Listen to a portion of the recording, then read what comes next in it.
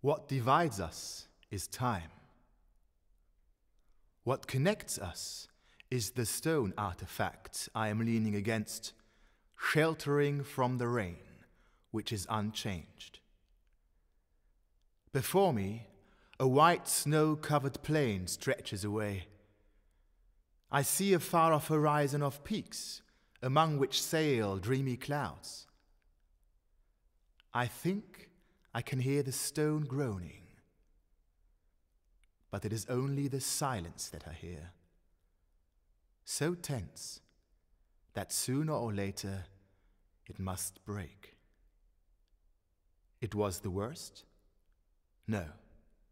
The worst is the blue, so absolute, so utter, so removed from the earth that it ought to invent a new name for it.